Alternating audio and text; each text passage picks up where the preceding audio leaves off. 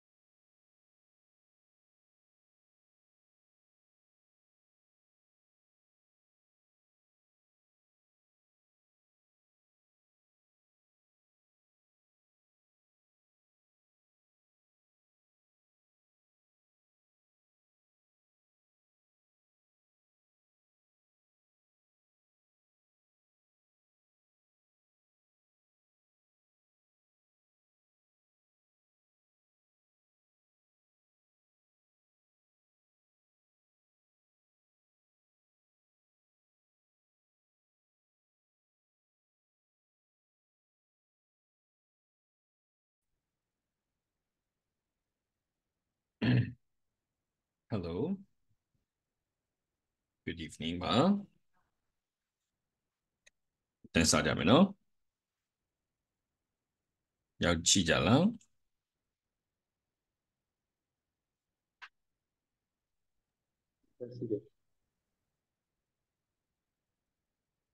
အကုန်လုံးရောက်ကြပြီလားလို့ဒီပါဆရာရှိရနော် okay ဆိုတော့အာဒီနေ့ကို JavaScript ပိုင်းလေးကိုနည်းနည်းလေးဆက်ပြီးတော့ကြည့်ကြရအောင်အခြေခံလေးတွေ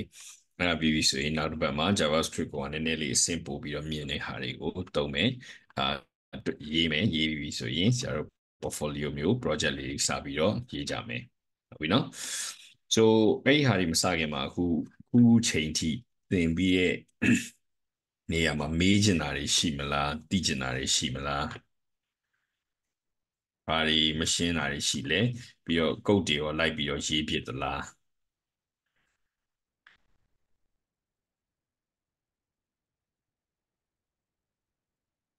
အဲ့ဒီရှိရင်ပြောပါ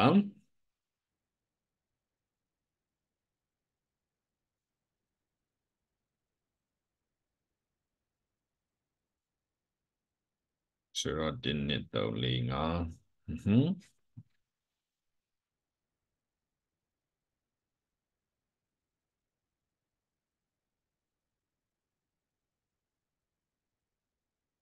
မရှိဘူးเนาะအကုန်လုံးလိုက်ရေးလို့ရတယ်เนาะအဲ့တော့ထပ်ပြီးတော့ marginal spelling လေးတွေ use site ပါတချို့ computer မှာ typing သိပြီးတော့မကျွမ်းဘူးဆိုရင် SRC တို့ SCR တို့မရဘူးအာကြံနေခဲ့တယ်မာနေခဲ့တဲ့ပြီးရင်ဒီ defer လုပ်တဲ့ဟာလိုမျိုးဒါဆိုရင်လည်းအာတခါလေသတိမေ့ရင်ဖြစ်တယ်ဆရာတော်မဟိုတနေ့ကသတိမေ့သွားတဲ့အချိန်ကျတော့နည်းနည်းဘာဖြစ်သွားလဲဆိုပြီးတော့ဖြစ်သွားတတ်တယ်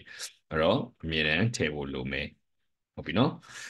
ဆိုတော့ဒီနေ့ကို JavaScript ကိုထပ်ပြီးတော့ကြည့်မယ်မနေ့ကရေးထားတဲ့ဟာတွေနဲ့ထပ်ပြီးတော့ဟိုပေါင်းပြီးအချိန်ကြာတည်လို့ရအောင်လို့မနေ့ကရေးထားတဲ့ဟာလေးကိုခဏပြန်ပြီးတော့နှွေးပေးရမယ်ဆိုရင်ဆရာတို့အာ clean code တွေဖြစ်အောင်လို့ရေးခဲ့တယ်ဟုတ်ပြီနော်ဒီလိုမျိုး variable တွေကိုအစားထိုးထည့်တယ် variable တွေကိုအစားထိုးထည့်ပြီးတော့ဒီမှာတက်တက်အလုပ်လုပ်တဲ့နေရာတွေထားတယ်အဲ့တော့ကြည့်ရတာပိုရှင်းလာစေတယ် clean code ဖြစ်စေတယ်ပြီးတော့ဒီမှာ first number second number ဒါမျိုးတွေ condition စပြီးတော့စစ်တယ်ဟုတ်ပြီနော်အဲ့ condition စပြီးတော့စစ်တဲ့ခါကျတော့အဲ့ဒီ condition အရာအာပြည်လဲတဲ့အတိုင်းအလုပ်လုပ်တယ်အဲ့တော့ဒီ condition တွေနဲ့ပတ်သက်ပြီးအချိန်ကြာဆရာနည်းနည်းလေးထပ်ပြီးတော့ပြောဖို့ကြံတဲ့ဟာကြဘာလဲဆိုရင် तू ကအာဆရာတို့ခဏလေးနော်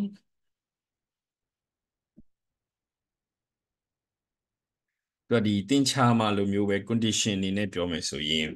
အာကြီးလားငယ်လားဆိုတဲ့ဟာရှိမယ်ဟုတ်ပြီနော်ပြီးရင်ကြီးပြီးတော့ညီတဲ့ဟာရှိသလိုငယ်ပြီးတော့ညီတဲ့ဟာလည်းရှိမယ်ပြီးရင်မညီတဲ့ဟာရှိမယ်ပြီးရင်ညီတဲ့ဟာရှိမယ် condition တွေမှတ်ကြလို့ရအောင်လို့ဟုတ်ပြီနော်အဲ့တော့ greater than less than greater than or equal less than or equal not equal equal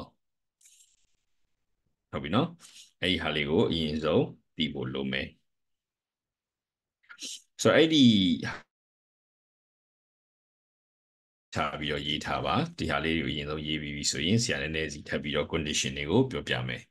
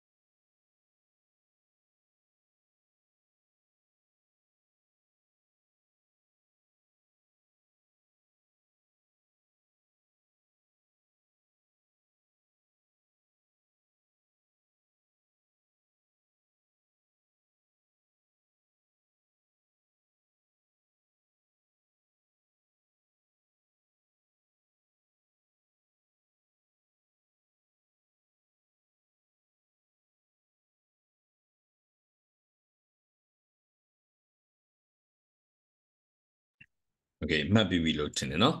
ဆိုတော့ဒီ conditions တွေကိုနောက်တနည်းအားဖြင့်ဘယ်လိုခေါ်လဲဆိုရင် operators တွေလို့ခေါ်မယ်အဲ့ operator တွေထဲမှာမှ comparison operator လို့ခေါ်မယ်သူက condition အရဆိုရင်ဟိုဘက်နဲ့ဒီဘက်နဲ့ကိုနိုင်ရှင်ပါဟုတ်ပြီနော်ဟိုဘက်နဲ့ဒီဘက်နဲ့ကိုနိုင်ရှင်ပါအဲ့ချိန်ကျတော့ဆရာတို့ကထားပါတော့ဒီ greater than လို့မျိုးမှာပြောမယ်ဆိုရင် x greater than y true ဖြစ်သလားဆိုတာလိုမျိုးစစ်မှာ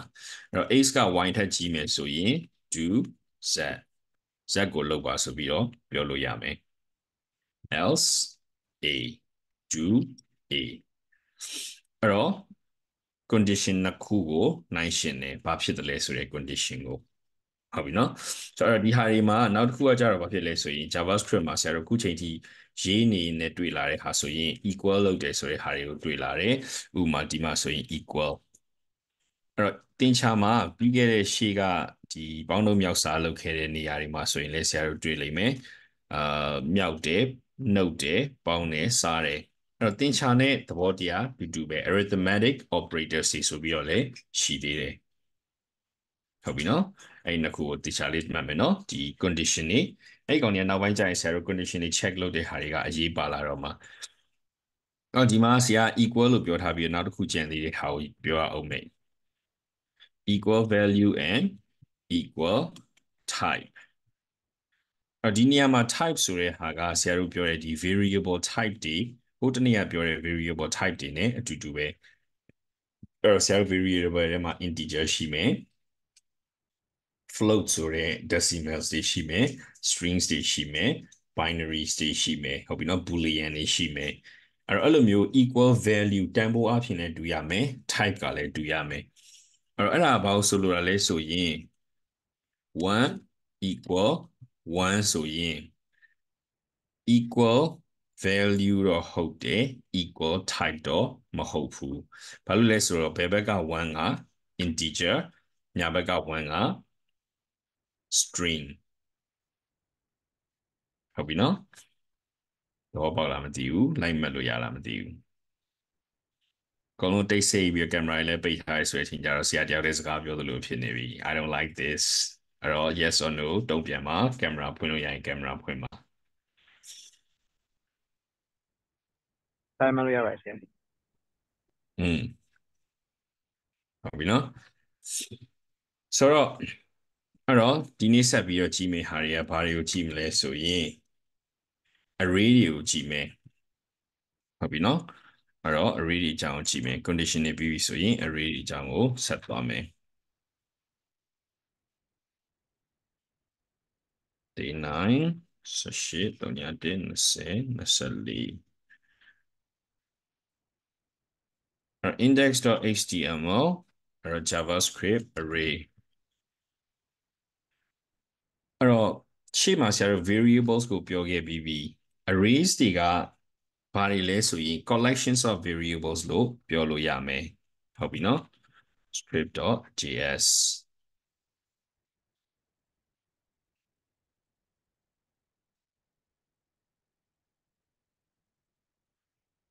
collections of variables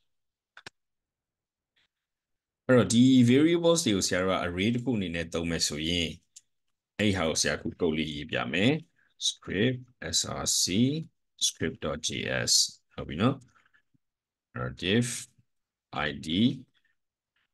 output ဆိုကြပါစို့အဲ့တော့ဒီမှာဆရာက array တစ်ခုကိုတည်ဆောက်လိုက်မယ်ဟုတ်ပြီနော်အာ sum array အဲ့တော့ဆရာဒီမှာ အာ sum array ဆိုတာတစ်ဆိုင် name လို့ name array လို့ပဲပြောလိုက်မယ်ဟုတ်ပြီနော်အဲ့တော့ဆရာက Winston ပြီးတော့အာ Chachi ပြီးတော့ Thomas ပြီးတော့ Arthur ပြီးတော့ Benjamin ဆိုကြပါစို့ဆိုတော့အဲ့ဒီကောင်တွေကဆရာ array ထဲမှာရှိတဲ့ဒီ variables တွေအဲ ဒီ array ရတော့ name array ဆိုတဲ့အတိုင်းပဲနာမည်ဖြစ်နေတာဟုတ်ပြီနော်ဆိုအဲ့ဒီကောင်တွေကိုဆရာကနေပြီးတော့ထုတ်ကြည့်လိုက်မယ် document.get element by id output ကိုယူမယ်အဲ့ဒါပြီးရင် inner html name array ဒီလိုလေးထည့်ကြည့်လိုက်မယ် and see what's going to happen ဒါလေးကို defer လုပ်ရအောင်မယ်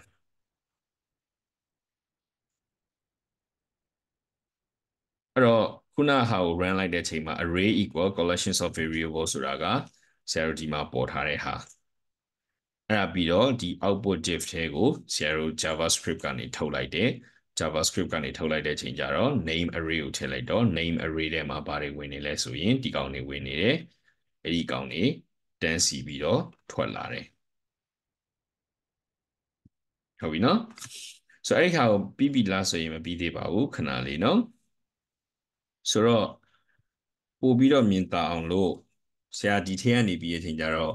အကုန်လုံးကိုမထွက်ချင်ဘူးအကုန်လုံးကိုမထွက်ချင်ဘူးဒီရှေ့ဆုံးက Winston ဆိုတဲ့ဟာကိုပဲထွက်ချင်တယ်အဲ့တော့ဘာလုပ်မလဲဆိုရင်ဒီလိုလိုက်မယ် first item ဆိုကြပါစို့အဲ့တော့ဒီနေရာမှာ first item အဲ့တော့ name array တွေကနေကြာဆရာကနေပြီးတော့0လို့ပေးပေးရလိမ့်မယ်အဲ့ဒါဆိုရင်ဒီထဲမှာ Winston လို့ရောက်လာလိမ့်မယ်ဒီမှာအဲ့ဒီမှာဆရာတို့ကဘာကိုသိရမလဲဆိုရင် array နဲ့ပတ်သက်ပြီးဆိုရင် array မှာ array value နဲ့ array index value ဆိုပြီးတော့ရှိတယ် item value ပေါ့နော်အဲ့လိုမှတ်မယ်နောက်တစ်ခုက array index value အဲ့တော့ value နှမျိုးရှိတယ်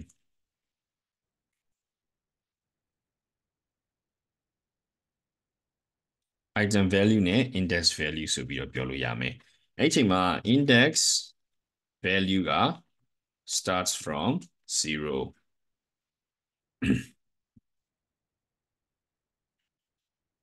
ဘာနဲ့တူလဲဆိုတော့ဆရာတို့အခန်းအခန်းနံပါတ်နဲ့တူတယ်ဒီလားဒီ array ကိုဆရာတို့အိမ်ခန်းတစ်ခန်းလို့မြင်ကြည့်လိုက်ဟုတ်ပြီနော် array ကိုအိမ်ခန်းနေလို့မြင်ကြည့်လိုက်အဲ့တော့အခန်းနံပါတ်3ညကနေစမယ်0မှာ Winston နေတယ်အခန်းနံပါတ်1မှာ Chachi နေတယ်အခန်းနံပါတ်2မှာ Thomas နေတယ်3မှာ Arthur နေတယ်4မှာ Benjamin နေတယ်လို့မြင်ကြည့်လို့ရမယ် ဆိုတော့ array index ကအမြဲတမ်းအမြဲတမ်း0ကစတယ်ဟုတ်ပြီနော် away array index က0အမြဲစတယ်အဲ့တော့ဆရာတို့အနေနဲ့ array တစ်ခုကိုတိဆောက်ပြီဆိုရင်ဘယ်အခန်းထဲမှာရှိတဲ့သူကိုခေါ်ချင်တာလဲဆိုတဲ့ဟာကိုဒီ array array ရဲ့နောက်မှာ number ထည့်ပေးရမယ်အဲ့ဆရာက0ဆိုရင် Winston အဲ့ဒီမှာဆရာက Benjamin ကိုလိုချင်တယ်ဆိုရင် 4လို့ပြင်ကိုပြင်ရတော့မယ်ဟုတ်ပြီနော်အဲ့ဒီကောင်ကနေပြီးတော့ထင်ကြတော့ output က Benjamin ထွက်လာမယ် save လုပ်လိုက်မယ်ကြည့်လိုက်မယ်ဒီမှာ Benjamin ရောက်လာပြီဟုတ်ပြီနော်အဲ့တော့ array က collections of variables အဲ့ချိန်မှာအခုဆရာလုပ်ပြတဲ့ဟာက array တိစောက်ထားတဲ့နာမည်နဲ့ နာမည် only ဖြစ်တဲ့ string array အဲ့ဒီနေရာမှာဆရာအခုဒီဟာကိုရှင်းပြပြီးဆိုရင် array ရဲ့တိစောက်တဲ့ structure လေးကိုပြောပြရအောင်မယ်အဲ့တော့ဆရာတို့ array ကိုဆိုရင်များသောအားဖြင့်တော့ constant နဲ့ကြီးညာတယ်ပြီးရင် array ဆိုပြီးတော့နာမည်ပေးမယ်ပြီးသူက down ကွင်းနှစ်ကွင်းထဲမှာရှိရမယ်ဟုတ်ပြီနော် down ကွင်းနှစ်ကွင်းထဲမှာရှိရမယ်အဲ့ဒီကောင်အရေးကြီးရဒီနေရာမှာသက်သေးကွင်းတွေပါသွားလို့ရင်အလုပ်လုပ်မှာမဟုတ်ဘူးဒါကသူ ရဲ့ JavaScript ရဲ့တိစောက်ထားတဲ့ပုံစံဟုတ်ပြီနော်အဲ့ဒီမှာဒီတိုင်းတိစောက်ပြီးဆိုရင်ဆရာတို့ကဘာလုပ်မလဲဆိုရင် items တွေကိုကြတော့ဒီ enter ရဲ့ဘေးမှာရှိတဲ့ဟို quotes ပေါ့နော်တစ်ခုတည်းဖြစ်ဖြစ် single quotes ဖြစ်ဖြစ် double quotes ဖြစ်ဖြစ်အဆင်ပြေတယ် double quotes နဲ့ရေးခြင်းနဲ့ဆိုရင်လည်းရတယ် single quote နဲ့ရေးခြင်းနဲ့ဆိုရင်လည်းရတယ်အဲအဲ့လို double quote တနေရာ single quote တနေရာတော့မလုပ်နဲ့ပေါ့နော် double quote အနေနဲ့နှစ်ခုနဲ့ရေးလဲရတယ် single quote အနေနဲ့တစ်ခုနဲ့ရေးလဲရတယ်အဲဆရာကတော့ဆရာရဲ့ prefer method ကကြတော့ single quote နဲ့ရေးတယ်ဟုတ်ပြီနော်အဲ့တော့ဂျားထဲမှာတစ်ခုနဲ့တစ်ခုနဲ့ join တဲ့နေရာမှာကြာရင်တော့ comma လေးတွေခံသွားရမယ်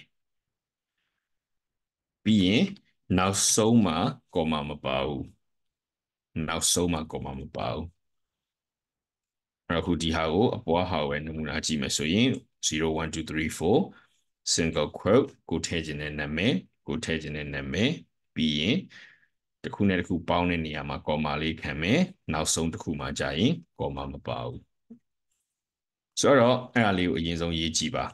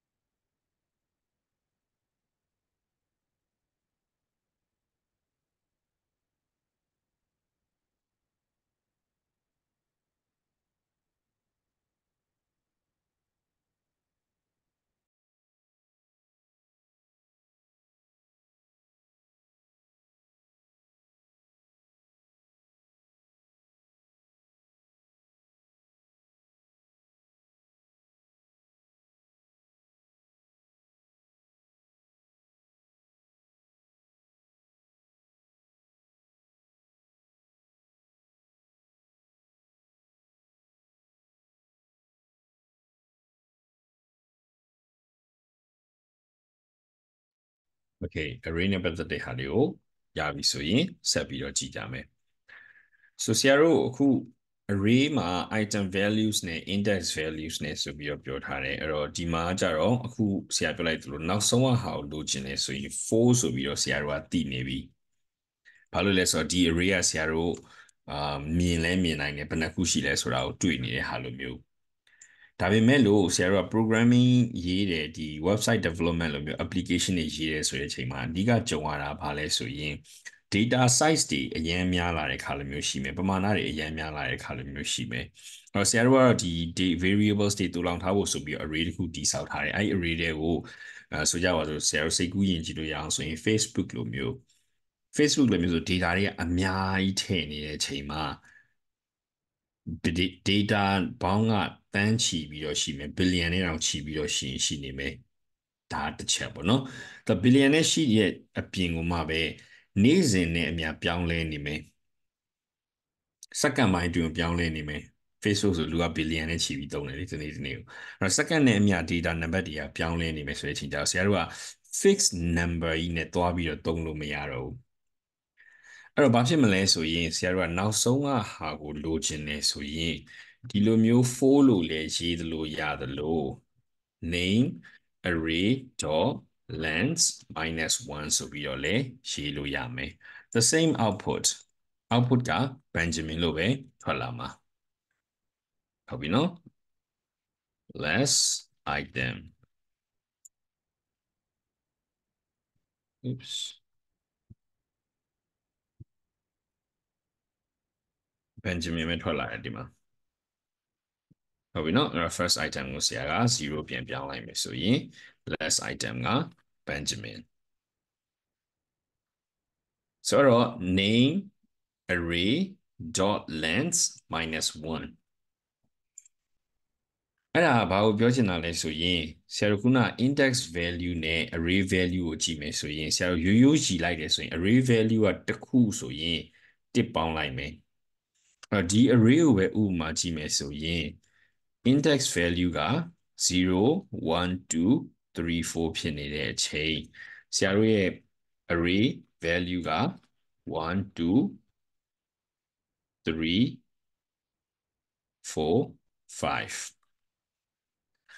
အဲ့တော့ဘာဖြစ်လဲဆိုရင် if we keep going down like that တစ်ကနေ n number ထိသွားမယ်ပဲဆိုကြပါစို့ဟုတ်ပြီနော်တစ်ကနေ n number ထိပဲသွားမယ်ဆိုကြပါစို့ဒီရှေ့ကကြတော့ n 1ဖြစ်နေမှာဟုတ်ပြီနော်အဲ့တော့ array value ကတန်းတရာဖြစ်ပလေစီဒီဘက်က69.999ဆိုတာလိုမျိုးထွက်လာမယ်တန်းတစ်ထောင်ဖြစ်ပြီဆိုရင်လည်း99999ဆိုပြီးတော့အမြဲတည်ရောနေမယ်အဲ့ဒီကောင်ရဲ့စုစုပေါင်းကလိုချင်နေဆိုရင် အဲ့ဒီ array ရဲ့စုစုပေါင်း length အရှည်ဆိုပြီးတော့မှတ်လို့ရမယ်အဲ့ဒီအရှည်တွေကနေတင်နှုတ်လိုက်တယ်အဲ့ဒီနေရာမှာ number နေရာမှာ name array dot length minus 1ဆိုပြီးတော့အစားထိုးလိုက်ရင်ဒီစုစုပေါင်းရှိတဲ့ array အရေးအတွက်ထဲကနေ1အမြဲနှုတ်ပြီးသားဖြစ်တဲ့တန်ဖိုးကိုထည့်မှာအဲ့တော့အလွယ်ထပ်ပြီးမှတ်မယ်ဆိုရင် index value က item တဲမှာရှိတဲ့ဒီ total length value ထက်အမြဲတမ်းတင်ငယ်တယ်လို့မှတ်လို့ရမယ်အဲ့ဒါလေးလည်းမှတ်လိုက်နော် index value ကဒီရှိတဲ့ total length ထဲကနေအမြဲတမ်းတင်ငယ်တယ်အဲ့ဒီဟာကိုရေးခြင်းနေဆိုရင် name array dot length minus 1 အဲ့တော့ခုမှစပြီးကြားဘူးလဲစိတ်မပူနဲ့နောက်ပတ်ဒီမှာရေးတဲ့အခါကျရင်ဒီဟာကိုမကြမကြပြန်ပြီးတော့တွေ့ရလိမ့်မယ်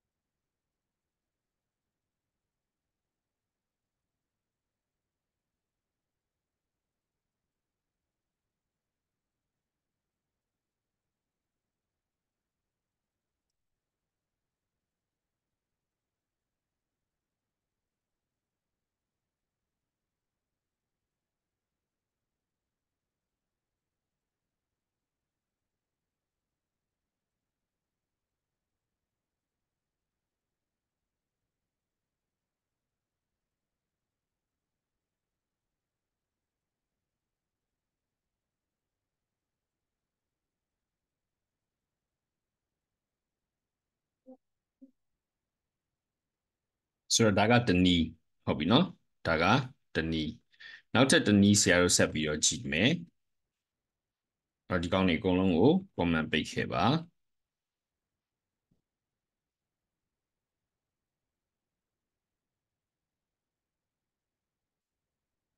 ဆိုတော့နောက်ထပ်တနည်းကကြတော့ဗာလဲဆိုရင်ဆရာတို့က array ကိုတည်ဆောက်မယ်ဆိုရင်ဟုတ်ပြီနော် constant tower of person array လို့တည်ဆောက်လိုက်မယ် အပေါ်ကလိုမျိုးညီမြချင်းဆိုပြီးတော့ဒီလို၄တောင်ခွင်းလေးနဲ့တိဆောက်လဲရသလိုဆရာတို့နောက်တနည်းကကြတော့ဘာလဲဆိုရင် constant array ပြီး new လို့ခေါ်မယ် array လို့ကြီးညာမယ်ပြီးပြီဆိုရင်နာမည်ထည့်မယ်ဟုတ်ပြီနော် Winston Pure 18အသက်ကိုတော့18ပေါ့နော်18ဆိုတော့ array ရသွားပြီ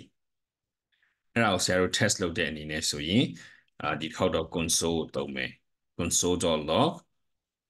first name is ပြီးရင် person array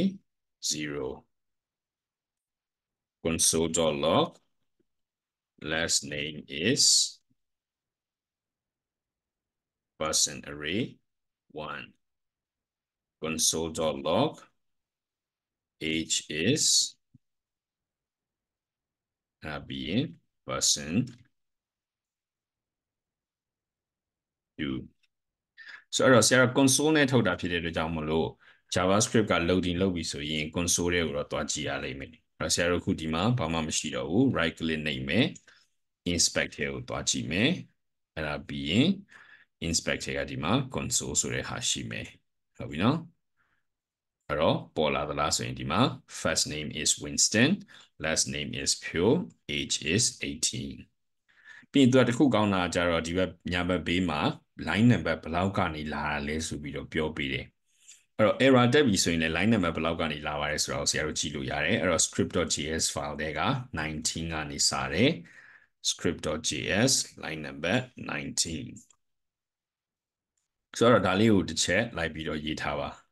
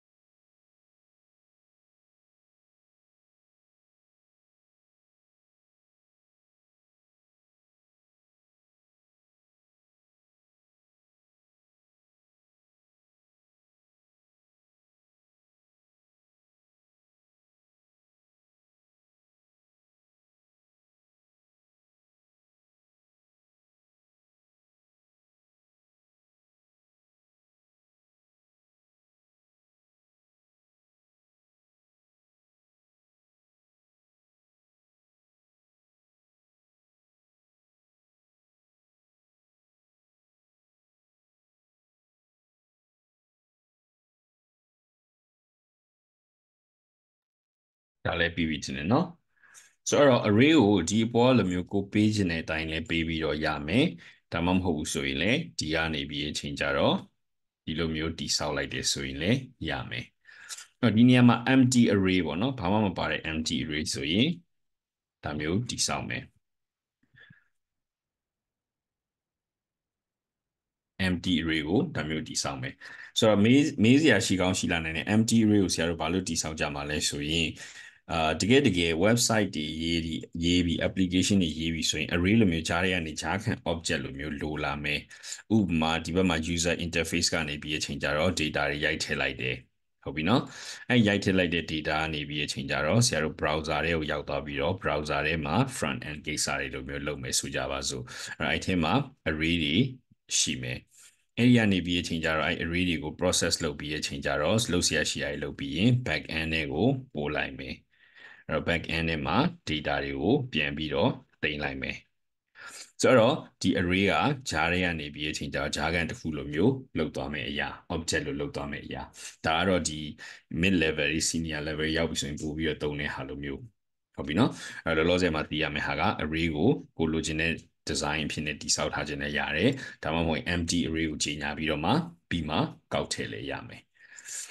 ဆိုတော့ empty array ကနေ စကြည့်ကြရအောင်ဆက်ပြီးအချိန်ကြတော့အားလုံးပြီးကြပြီထင်တယ်ပြီးပြီလားပြီးပါပြီပြီးပြီနော်အကုန်လုံးရပါပြီอืมဆိုတော့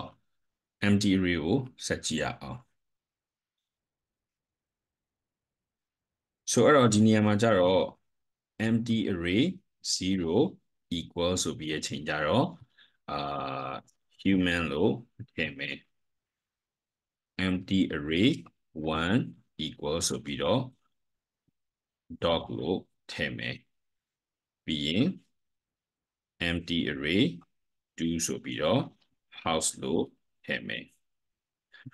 အဲ့ဒါပြီးရင်ဆရာတို့ console.log ကိုပြန်ပြီးတော့ခေါ်ကြည့်မယ်အဲ့တော့ first item of the array is 0 So dollar second item of the array is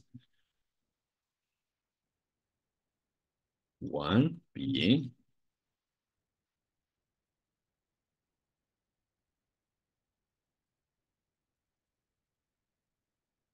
So let's have a look.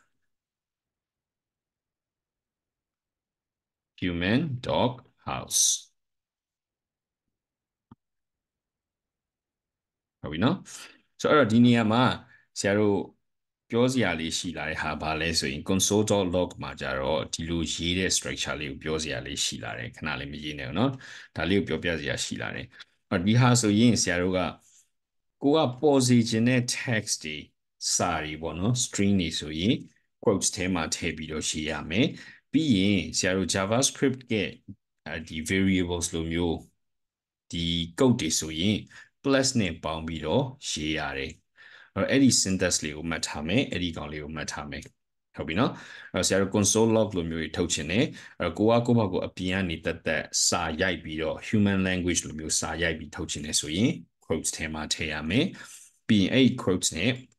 ဒီဆရာတို့ JavaScript code တွေနဲ့ပေါင်းချင်တယ်ဆိုရင် plus နဲ့ဂျာထဲမှာရေးပေးရတယ်အဲ့ဒါလေးတွေတခါရင် notes အဖြစ်နဲ့မှတ်ထားပါ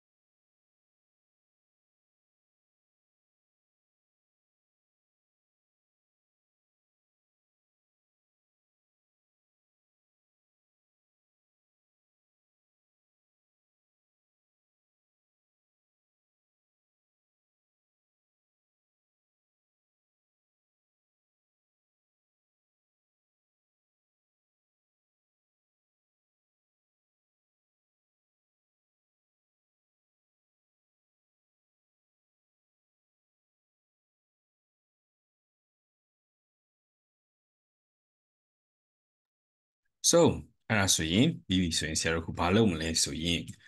ဒီအပေါ်ကရှိတဲ့ array တွေကိုပဲဆရာတို့ကနည်းနည်းလေးထပ်ပြီးတော့ပြုပြင်ခြင်းတယ်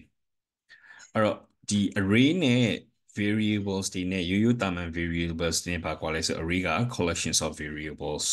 ဟုတ်ပြီနော်အဲ့တော့ collections of variables ဆိုတဲ့အချိန်ကျတော့ဆရာတို့ကအဲ့ဒီ variable တွေကိုတိုးတာ short တာအဆင်ပြေတာကြိုက်သလိုလုပ်လို့ရတယ် ဟုတ်ပြီနော်တိုးတာ short တာအဆင်ပြေသလိုကြိုက်သလိုလုပ်လို့ရတယ်ဆိုတော့ဆရာကခုန empty array ဆိုတာကိုရှိပြီးသားအဲ့ဒီ array တွေကိုဆရာကနောက်တစ်ခုပေါင်းချင်နေဆိုရင်အပေါ်မှာပြောထားသလိုပဲ3ဆိုပြီးတော့ဆက်ပြီးပေါင်းလိုက်လို့ရတယ်ဟုတ်ပြီနော် weather ဆိုကြပါစို့ဒီနီးနဲ့လည်းရသလိုဆရာအဲ့နီးနဲ့မသုံးမဲနဲ့နောက်တနည်းကကြတော့ဘာလဲဆိုတော့ဒီလိုရေးလိုက်အောင်မယ်နော် adding variables to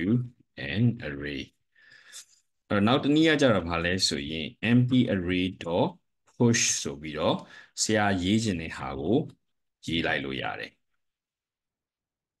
အဲ့ဒါဆိုရင်ဒီ push ဆိုတဲ့ဟာဘာဖြစ်မလဲဆိုရင်ရှိပြီးသား array တွေကို နောက်ဆုံးကနေထည့်ပြီးတော့ပေါင်းလိုက်တယ်ဟုတ်ပြီနော်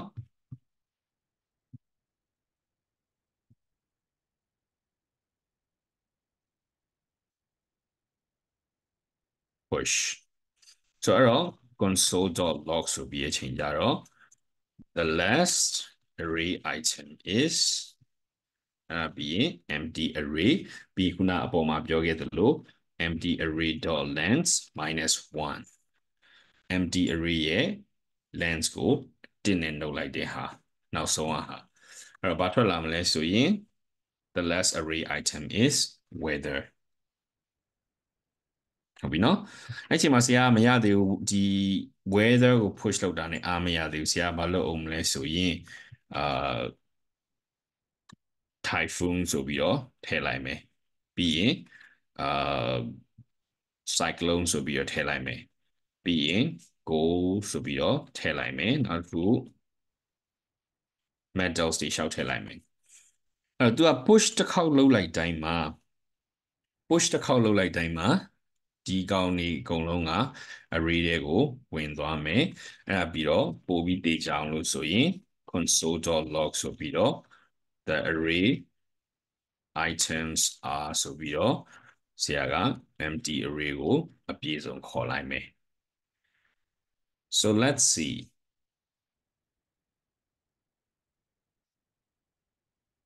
အဲ့တော့ခုဒီမှာ humans dog house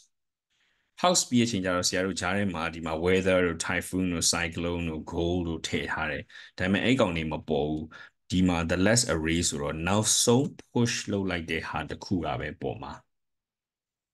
အဲ့တော့ array dot length minus 1အဲ့တော့အဲ့ဒီ array ရဲ့စုစုပေါင်းအလျားတွေကနေတင်နှုတ်ပြီးတော့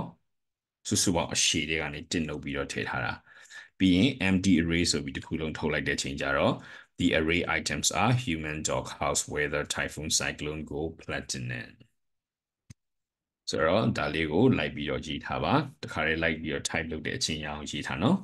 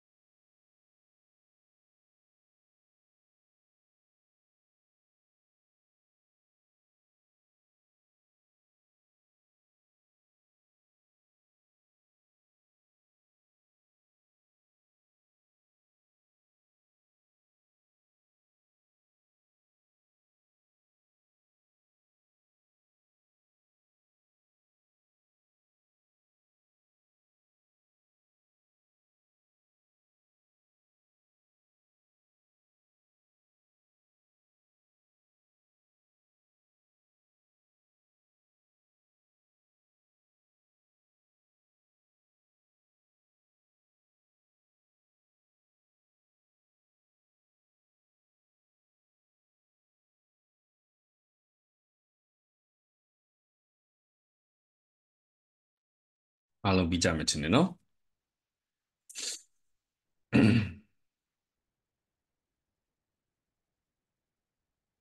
ဆိုတော့ဆရာတို့ခု array တွေကိုပေါင်းထည့်ထားပြီးပြီ array တွေကနေနှုတ်ပြီးတော့ထည့်ကြည့်မယ်ဆိုရင်ရောဘယ်လိုဖြစ်မလဲဆိုရင်စမ်းကြည့်အောင် empty array dot slice ဆိုပြီးတော့ရေးမယ်အဲ့ဒါပြီးပြီဆိုရင် console.log ပြီးရင် slice array is ဆိုပြီးတော့စမ်းကြည့်ရအောင်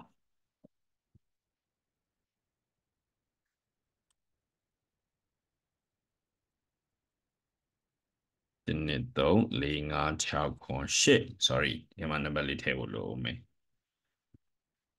ဟုတ်နံပါတ်ထည့်လည်းမပြောင်း slice မဟုတ်ပဲ splice ဖြစ်မယ်ထင်တယ်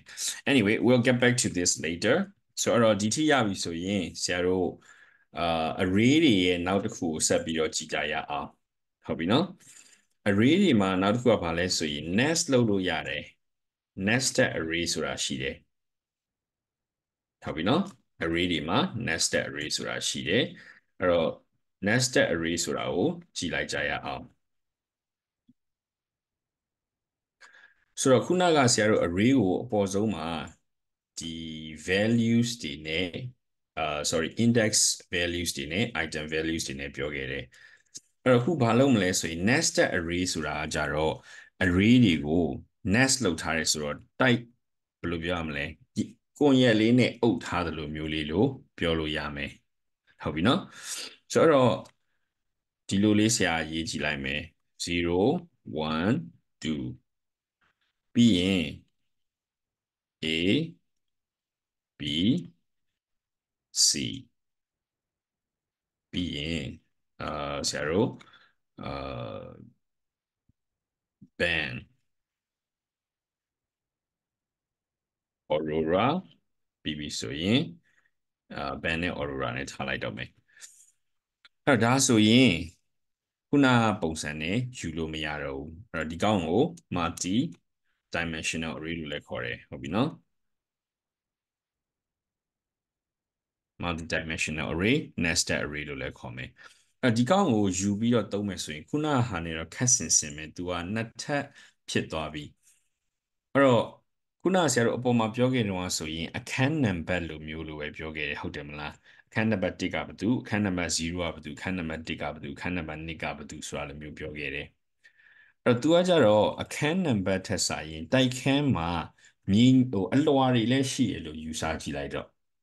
ဟုတ်ပြီနော်ရန်ကုန်မှာနေတဲ့သူတွေလိုမျိုးဆိုရင်ပို့ပြီးကိုကိုကိုမြင်နိုင်လိမ့်မယ်တိုက်ခန်းမှာအလွှာတွေလည်းရှိရဆိုရင်အရင်ဆုံး index 0ကမြင်ညီတဲ့လို့ယူဆလိုက်တော့ဟုတ်ပြီနော်အဲ့မှာ index 0မှာမှာဘာဖြစ်လဲဆိုရင်အခန်း3ခန်းရှိတယ်လို့ယူဆလိုက်မယ်ဆိုရင်0 1 and 2အဲ့တော့ခုနပြောရဲ့0ကနေ1ရောက်မယ်ပထမတက်မှာရော ထုံးစံတိုင်းပဲ0 1 and 2ဆိုပြီးတော့ရှိမယ်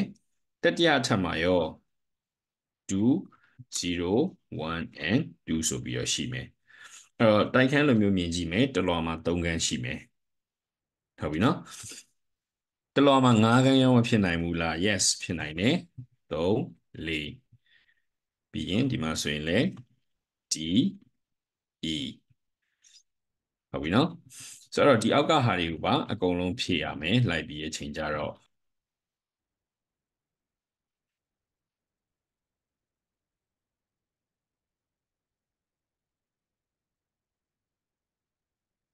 အဲဆိုရင်ညီညီတက်မှာ0 1 2 3 4ငါးခန်းရှိမယ်ဆိုပြီးတော့ဖြစ်သွားမယ်ဟုတ်ပြီနော်အဲ့တော့ဆရာတို့က author ကိုလိုချင်တယ်ဆိုရင်ဘယ်လိုရှာရမလဲ how do we find author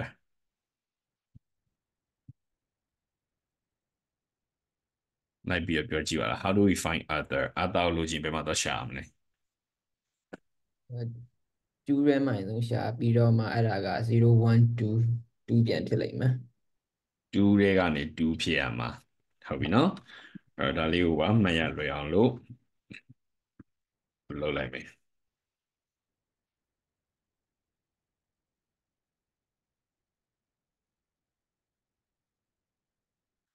ဆိုတော့ဒီဟာကိုဆရာတော့အတောက်လိုချင်ကြဘယ်လိုလုပ်အောင်လဲဆိုရင် console.log ဆိုပြီးတော့ပြောရမယ် uh the name of the winner is ဆိုပြီးတော့ထားပါတော့အတောက်ထိပေါက်တယ်ပဲထားလိုက်တော့အဲ့တော့အတောက်လိုချင်နေဆိုရင်ဆရာတို့က nested array ကိုခေါ်ရမယ် nested array ထဲမှာခုနကလိုမျိုးဖြစ်တဲ့ဆရာတို့2ဆိုပြီးတော့ရေးလိုက်ပြီးဟုတ်ပြီနော်ဒီမှာ0 1 2 အဲ့တော့2ရဲ့ကနေမှနောက်တစ်ခုကပါလဲဆိုရင်2အဲ့တော့ဆရာတို့ကအာတာထွက်လာလိမ့်မယ်အဲ့တော့ဒီနေရာမှာပို့ပြီးတော့ကွယ်ကွယ်လေးဖြစ်သွားအောင်လို့ဆရာဒီလို empty လေးတစ်ခုထားပေးလိုက်မယ်အဲ့တော့ the name of the winner is other ဆိုတော့အခုဒီဟာလေးကို nested array လေးကိုရေးပြီးအချိန်ကျတော့ကိုယ့်ဟာကိုရှောက်ပြီးတော့ကလေးကြည့်ပါကိုယ့်ဟာကိုစိတ်မှန်းနဲ့တွက်ကြည့်တွက်ပြီးပြီဆိုရင် CU လိုချင်တယ်ဆိုဘယ်လောက်ဖြစ်မလဲဒါမျိုးရေးကြည့်ပါအဲ့တော့အချိန်7မိနစ်လောက်ပြီမယ်နော်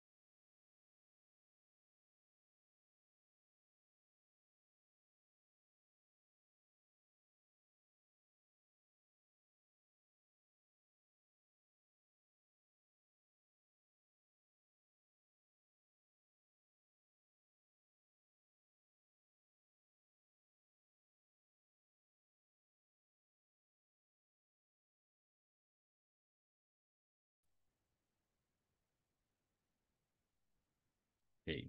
ပိုင်းကြသွားလို့ခုနပြောလက်စားဟာလေးကိုမေးတာဒီအထိဘာများမေးချင်တာရှိအောင်မလဲမရှင်းတဲ့ဟာရှိအောင်မလဲ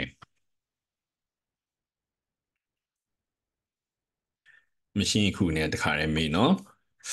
အဲ့တော့ပြန်ပြီးတော့ quick recap လေးလုပ်ပေးရမယ်ဆိုရင်ဆရာတို့ array ကိုစပြီးတော့ဒီနေ့သင်ပေးတယ် array တိဆောက်တဲ့ပုံပြီးတော့ array မှာ index value ရဲ့ item value ရဲ့ဆိုပြီးတော့တသက်ရှိမယ် item value ကအထဲမှာရှိတဲ့ tempo အဲ့ဒီကောင်တွေက integer လည်းဖြစ်နိုင်တယ် string လည်းဖြစ်နိုင်တယ် float တွေလည်းဖြစ်နိုင်တယ် true false ဒါမှမဟုတ် yes no လိုမျိုး boolean လည်းဖြစ်နိုင်တယ်နောက်တနည်းနဲ့ array တိဆောက်တဲ့ပုံစံ new array ဆိုပြီးတော့အဲ့ဒီထဲမှာ array value တွေကိုခြာရေးအဲ့တော့ array value 3ခုရေးရင် array index 0 1 2ဆိုပြီးတော့ဝင်သွားမယ်အဲ့ဒီကောင်ကိုပြန်ထုတ်မယ်ပြီးရင်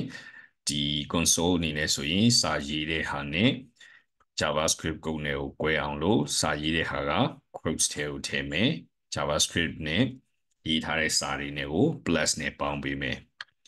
အဲ့ဒါပြီးရင်နောက်ထပ် empty array တစ်ခုကိုတိဆောက်မယ်တိဆောက်ပြီးရင်0 1 2ဆိုပြီးတော့အာ array values တွေကိုသတ်မှတ်ပြီးပေးလို့ရမယ်အဲ့ဒါပြီးတော့ဆရာက push ကိုပြောတယ် push က adding an, a new item to the end of an array ဟုတ်ပြီနော်အဲ့တော့ဆရာခုခုနပြောမယ့်ဟာကဆရာကုတ်ကမှတ်တာမှာသွားလို့ splice မဟုတ်ဘဲနဲ့သူက shift ဖြစ်မှာအဲ့တော့ဘာလုပ်မလဲဆိုရင် empty array.shift ဆိုပြီးတော့ဆရာကလုပ်လိုက်မယ်အဲ့ဒါပြီးရင် console.log ဆိုပြီးရချိန်ကြတော့အာ shifted array is empty array အဲ့တော့ shift လုပ်တယ်ဆိုတာဘာလဲဆိုရင်သူကဘယ်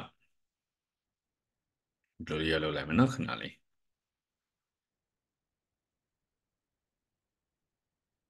line นี่꿰အောင်လို့ empty space လေးချလိုက်မယ်အဲ့တော့ shift လုပ်တယ်ဆိုတော့ဘာလုပ်တာလဲဆိုရင်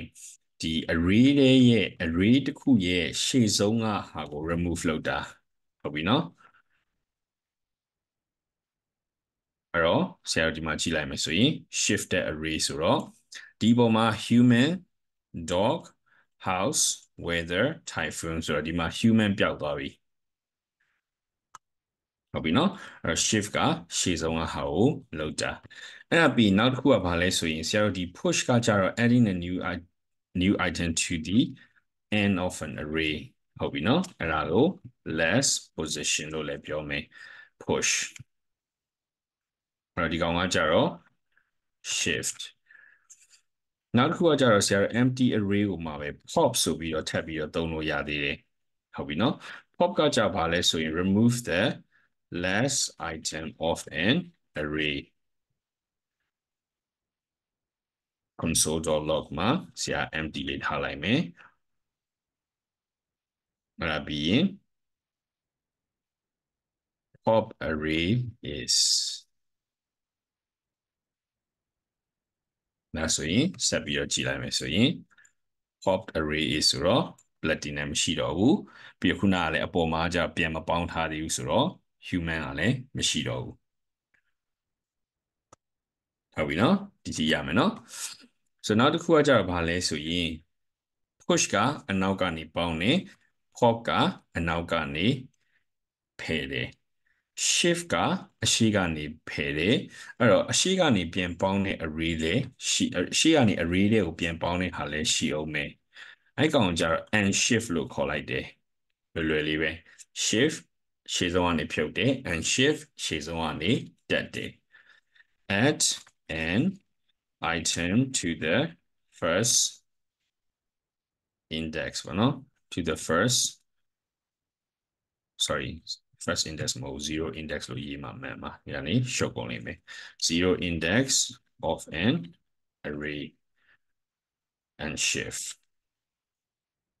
အဲဒီနေရာမှာကျတော့ဆရာ and shift လုပ်မယ်ဆိုရင်ကြတော့ sorry နိုင်နော် and shift လုပ်မယ်ဆိုတော့ဆရာဘာလုပ်ရလဲဆိုဒီထဲမှာကိုပေါင်းထည့်မဲ့ item ကိုထည့်ပေးရမှာမဟုတ်ရင် empty ဘလာကြီးလို့ဖြစ်နေမှာလေအဲ့တော့ new item ဆိုပြီးတော့ဆရာထည့်လိုက်မယ် console.log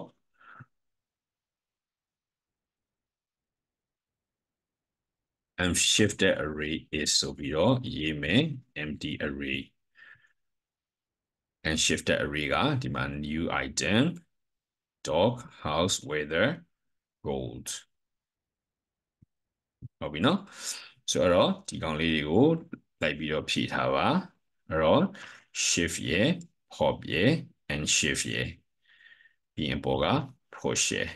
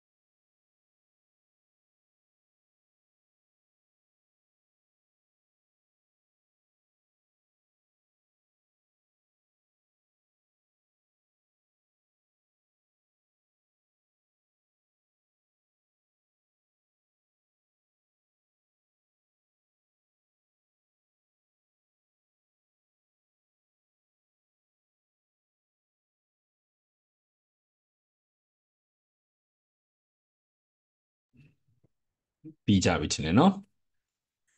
အဲ့တော့ဆရာတို့ဒီနေ့က array နားမှာပဲဆရာတို့ရက်ထားလိုက်မယ်နောက်နေ့ကျတော့မှနောက်ထပ်အာနောက်တစ်ပတ်ရောက်တော့မှ JavaScript ထဲကနောက်ထပ်ကျန်တဲ့ဟာတွေကိုဆက်ပြီးတော့သွားမယ်အဲ့တော့ JavaScript ကိုတော့အာနောက်တစ်ပတ်လေတစ်ပတ်လုံး JavaScript သင်ရလောက်မယ်ဘာလို့လဲဆိုရင် JavaScript မှာဆရာတို့ project တွေဒီနေ့ရေးမယ်ဆိုရင်နည်းနည်းလေးအာတည်ရမယ့်ဟာတွေရှိသေးတယ်ဟုတ်ပြီနော်အဲ့ဒီကောင်တွေကိုဆရာတို့အာလုပ်ကြမယ်ရေးကြမယ် so ခုဒါဆိုပထမ3ဘက်ပြီးပြီဆိုတဲ့အချိန်မှာဆရာတို့ recap လေးပြန်လုပ်မယ်ဆိုရင် HTML ပထမဘက်မှာ HTML နဲ့ပတ်သက်တဲ့အခြေခံတွေအကုန်လုံးပြောပြခဲ့တဲ့ elements တွေအကုန်လုံးပဲပြီးပြီဆိုရင်ဒုတိယဘက်မှာက CSS နဲ့ပတ်သက်တဲ့ဟာတွေအခြေခံတွေအကုန်လုံးကိုပြောပြခဲ့တယ် pseudo class တွေလည်းပါမယ်ပြီးရင်ဒီ animation တွေလည်းပါမယ် responsive design တွေလည်းပါမယ်အဲ့ဒါပြီးတော့ for fun အနေနဲ့ဆရာတို့ အာ login button လိုမျိုးဟာလေးရေးဖို့အတွက် login form လေးရေးဖို့အတွက်ကိုလုပ်ခဲ့ကြတယ်ရေးဖို့ရေးဖို့ပြောထားတယ်ပေါ့နော်အဲ့ဒီဟာလေးကို for fun အနေနဲ့ရေးရင်လည်းရေးထားကြည့်ပါဆရာတို့နောက်ကြရင်လည်းအတူတူရေးမယ်အာပြီးတော့အခု JavaScript နဲ့ပတ်သက်တဲ့အခြေခံတွေပြောတယ်အဲ့တော့ဒီခီမေးချင်တာရှိအောင်မလားဆိုတာပဲရှိသေးဘူးเนาะ အဲ့တော့နောက်တစ်ဘက်ကနေစပြီးအချိန်ကျလက်တွေ့ဘက်ကိုပို့ပြီးတော့ရောက်တော့မယ်လက်တွေ့ဆိုတကယ်အဲ့လို application လိုမျိုးဟာရင်းနဲ့ပါလာတော့မယ်ဟုတ်ပြီနော်အဲ့ fundamentals တွေကတော့ဒီပထမ၃ဘက်မှာပြီးပြီလို့ဆရာတို့ပြောလို့ရမယ်တည်တင်တည်ထိုင်တဲ့ဟာတွေအကုန်လုံးကတော့ကျန်တဲ့ mic ပိတ်နေတဲ့သူတွေရောကင်မရာပိတ်နေတဲ့သူတွေရောမြင်ကျင်တာရှိကြမလားရှိသေးပါဦးဆရာရှိသေးပါဦးဆရာရှိသေးပြီနော်အကုန်လုံးအဆင်ပြေနော်